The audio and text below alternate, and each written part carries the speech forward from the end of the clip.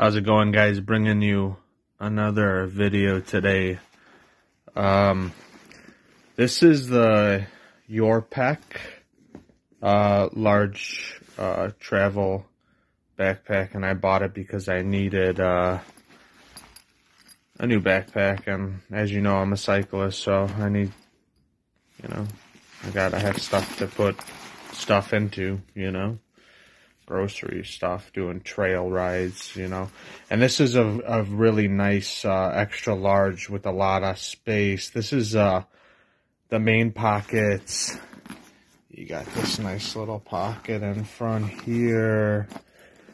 You got a pocket up here, small pouch. You got the main pocket, which is pretty huge. And then behind the main pocket, you have another pocket and then it's got uh, uh, if you if you have a laptop, you got a nice laptop uh, pouch in there. On the back, you got your regular, you know, adjustable straps. And then it's got a, a luggage uh, strap on here, so you can put it on your luggage case if you do any uh, any traveling. So quite a few cool colors you can get in, and I thought this one looked the nicest. But uh, it's been definitely uh, working with for me so far. It's been doing its uh, its its its hard work already, and I'm definitely gonna be breaking it in when it gets warmer too. Fit a lot of things in here, some tools and stuff when I'm cycling.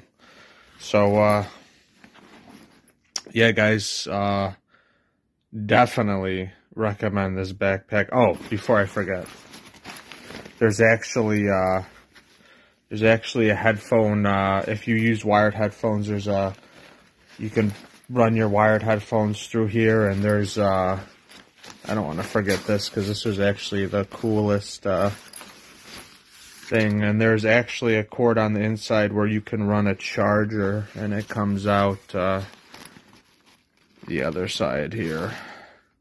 So it actually comes with a a, a, a cord in there, which is kind of cool.